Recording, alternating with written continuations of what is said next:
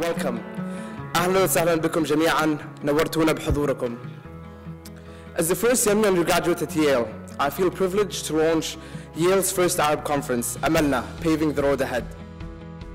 I feel so proud of all of you, of the hard work you've put in to make this a perfect conference. I hope uh, this will be beginning uh, of something to build on. Just meeting young people who are thinking about these issues is really invigorating for me, so I, I couldn't have asked for a better experience. I love the theme of the conference, Amalna.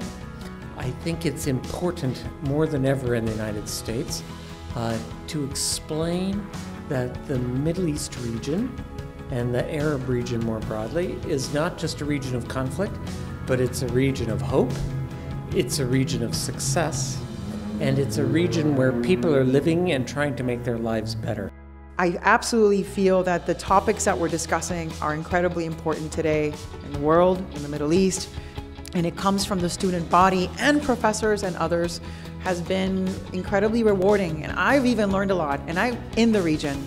So that's a testament to the people that you brought and how much work you put into this. I guess my only message would be so often what, what you're doing is inspiring us, and that, that would probably be my message more than anything else. على قدر أهل العزم تأتي العزائم وتأتي على قدر الكرام المكارم. If you go back to your countries to build, um, Allah ma'akum, and don't forget that you do have many friends in the United States. I think it was a wonderful experience, and I hope you guys can keep it up and uh, keep organizing uh, these conferences.